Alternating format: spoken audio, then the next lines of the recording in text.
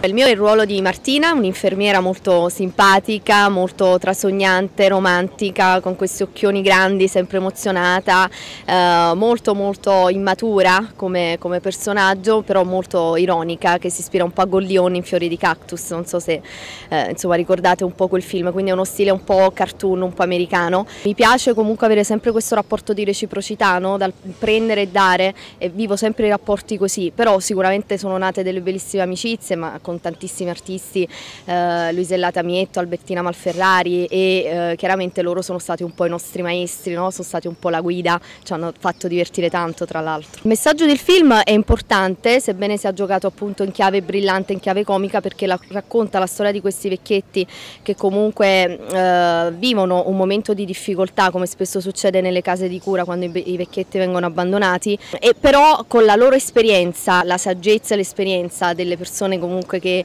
raggiungono una certa età riescono a eh, ribaltare la situazione e a riscattarsi, quindi è un messaggio positivo però giocato appunto in chiave ironica e brillante. Lo consiglio perché alla fine eh, insomma dopo questo momento così difficile tra guerra e pandemia un sorriso in più eh, fa sicuramente bene.